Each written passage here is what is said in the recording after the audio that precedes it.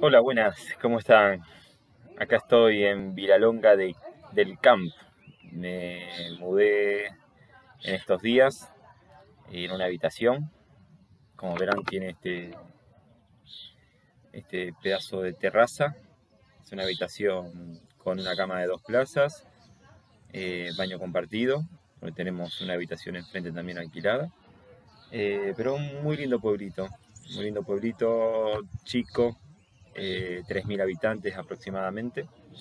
Eh, como ven tenemos algunas sierras, voy a mostrar un poquito. Tenemos una sierra cerca, ahí está un poquito el barrio. Tenemos muchos campos alrededores que, que mayormente lo, utilizan para, para el criado de,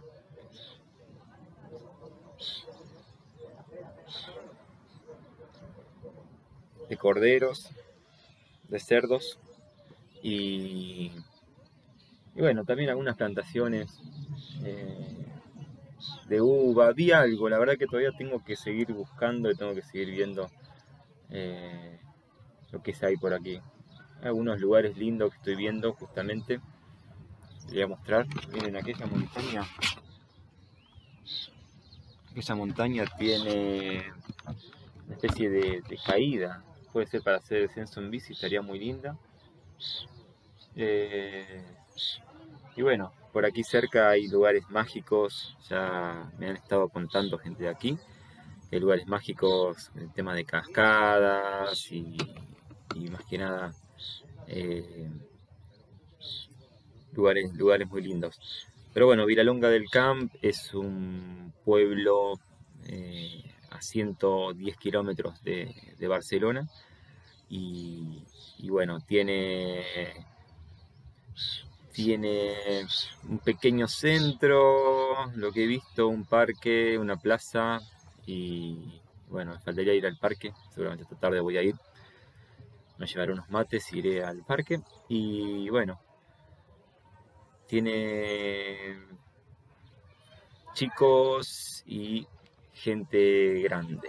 Hay lo que vi al moverme un poquito es que no hay gente de, determinada edad eh, universitaria, obviamente, porque estamos lejos para conectarte con Barcelona si quieres estudiar algo.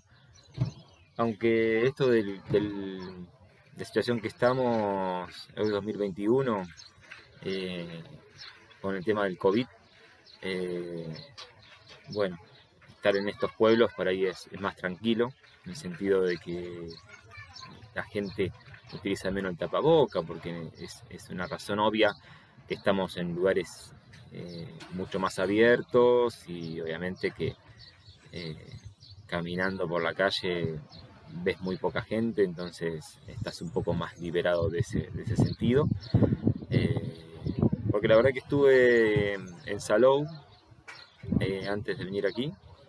Y, eso por ahí era, no te digo que, vi nada raro, no vi ni multas por gente que no lo usaba o que lo tenía abajo, ni tampoco llamada de atención, no vi ninguna. Eh, sí, obviamente que, que mayormente la gente lo cumple y el sentido social está entre uno usarlo o no usarlo eh, que bueno, tengo mi opinión al respecto, no sé si es la correcta, pero creo que es, es, una opinión en sí, que la verdad que, bueno, ya en lugares abiertos creo yo que más si uno está trabajando muy activamente, es muy difícil. En, lugares cerrados, sí, al, entrar a un, a un domicilio o eso está bueno ponérselo por protección, me parece justo. Pero ya en lugares abiertos, una persona está trabajando muchas veces en la calle, la verdad que al respirar, al respirar le cuesta más que, sin eso. Entonces es notorio el cansancio eh, de ese tiempo en que uno está más que nada eh, con, el, con, el, tapaboca, ¿no? Pero por eso, eh, estos lugares más tranquilos, es un pueblo de 3.500 habitantes, el censo último hace aproximadamente un año